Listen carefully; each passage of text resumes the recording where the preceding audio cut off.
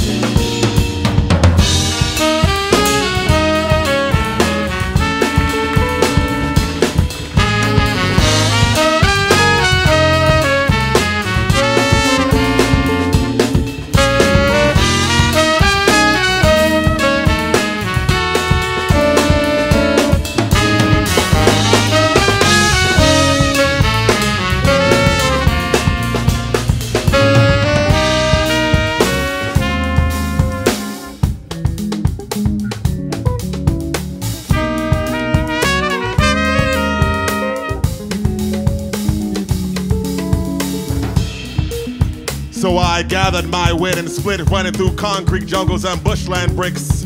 Reciting the alphabet backwards, why I wanted to retrain my vocab. Realizing that whatever I speak would be, my freedom did not reside in a city or country, it's well within me. For wherever you run, there you will be. Once again, trying to find peace, but sanity is all that I do not need, for there's protection in being crazy. Call me crazy or dramatic, for my journey is ongoing like an opera on railroad tracks. Speak against me and I will regurgitate it back. Hitting high notes to paint images of a messed up love child birthed by Hendrix and the Virgin Mary. While we love to rock you to peace, finding peace in you. Prayer offers plenty of help. Select yourself for purchase, for then you will find God within the package. It'll become a habit to be just that divine. You see, I drink God's wine. Just hear him talk to me through the grapevine. His words can be found in many forms. It's not just a book, a building, or a billboard, or through anything we deem as the norm. I'm trying to make my own self my home. With God being the leaseholder, who allows me to rent out the basement, lounging under a red light while feeling Jesus through a complacent time where Final rule that Coltrane was blue. Visiting a time that I can't even remember. Somewhere between Genesis and Harlem, 2084, late December. And I will try to never hinder my spirit again. Running and running and running, trying to win a race that is not mine to win. You see, everything is in divine perfect order. I close my eyes and see skyscrapers become water. Streets become sky, and I fly into self evaluation. Grounding myself every step of the way. For it all goes back to what you've been given. We are all Delta number seven. Heaven is an eternal journey, not just a destination for. It's anticipation that keeps the dedication that reveals the revelation, sweet sensations, and I prophesize the one day making it to the big city. Not realizing I would have enjoyed it a lot more if I got right with me. Select yourself for purchase, for then you will find God within the package, and it will become a habit to be just that divine.